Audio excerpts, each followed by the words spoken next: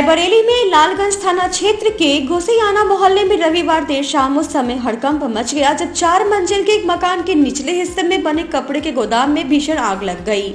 आग इतनी विकराल थी कि किसी तरह लोगों ने शटर तो तोड़ा, लेकिन लोग आग बुझाने में नाकाम रहे। वही सूचना पाकर फायर ब्रिगेड की गाड़ी पहुँची।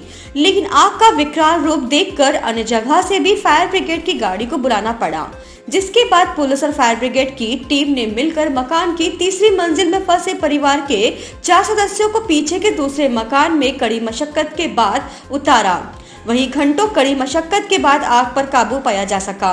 फ़िलहाल आग कैसे लगी, इसका अभी तक पता नहीं चल पाया। लेकिन बताया जा रहा है कि गोदाम में कई लाख का माल जलकर राख हो गया। वहीं आर के पांडे सीएफओ ने बताया कि आग लगने की सूचना मिली थी तो फायर ब्रिगेड की पाँच गाड़ियाँ आग बुझाने में लगाई गई थी। परिवार के अन्य फंसे हुए सदस्यों को शाकुशल बाहर निकाल लिया गया। आग लगने का कारण अभी स्पष्ट नहीं हो पा रहा है आग कैसे और कब लगी जाँच की जा रही है। रायबरेली से संवाददाता हर्षित द्विवेदी की रिपोर्ट। सियाना मोहल्ले में आग लगने की सूचना थी। क्या है पूर्व कितने लोग परिवार के सदस्य फंसे थे घर के अंदर?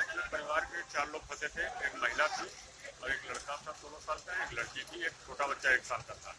और जो है तो दो मंजिल में आग लगी थी बेसमेंट में भी आग पकड़ ली थी।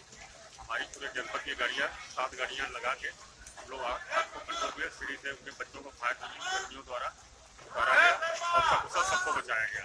और जो है आग को पूरी तरह से हम लोग नियंत्रण में कर लिया आग लगने का कारण? नहीं किसी की जान में खतरा नहीं हुआ सबको सब चार लोगों को बचा लिया गया सभी लोगों को बचा लिया गया।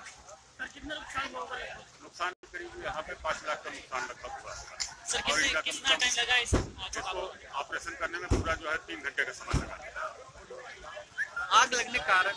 आग लगने का कारण प्रथम दृष्टिया जो है ये शॉर्ट सर्किट ही समझ में आ रहा है इसकी जाँच की जाएगी तो पता चलेगा। ठीक।